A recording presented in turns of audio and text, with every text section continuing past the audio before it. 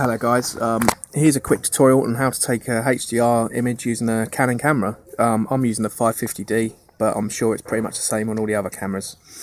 Um, when it comes to taking HDR images, um, I've found out there's two options. Um, the first one is if you um, if you've heard of Magic Lantern before, I really recommend that. all it is is just a it's a new firmware for your camera that runs off the SD card. So if you're unsure about that, um, just Google it. Basically, you download it, put it on the SD card, go to menu on our camera and install the firmware, and it's it's really safe and it's really recommended. So if you've got Magic Lantern, um, if you press this little bin button down the bottom here, you get the, the new menu. And if we go to shoot at the top, we've got a HDR bracketing option, which is really handy. Um, if we press Q, we can actually go into the options here, and as you can see, uh, we've got a frames setting, which is the number of photos that we're actually going to take. Uh, the EV increment, which is the number of stops that we're going to be jumping effectively.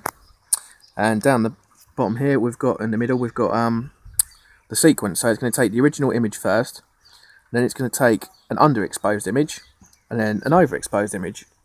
And then if we decide to do five images or more, it's going to then do two stops below and two stops above. So um, if I take a picture with that, it's all automatic. Um, you literally hold down the shutter to focus, take your photo, and it should take three images. So let's give it a try.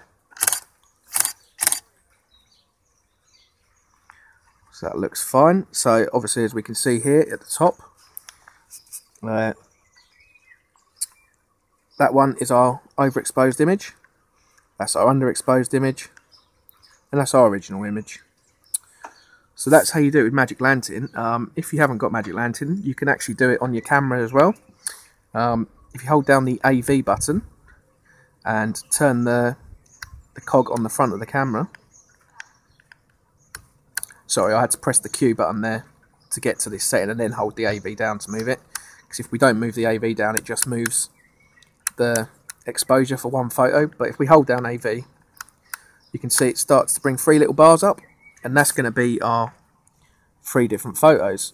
So, if I take a picture of something different now, move it over here. So what we have to do is we actually have to hold it down and take three different images.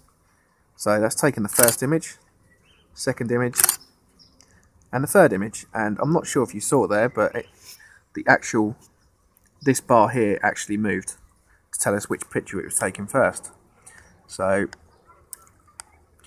as we can see here, we've got our original image, our underexposed image, and our overexposed image.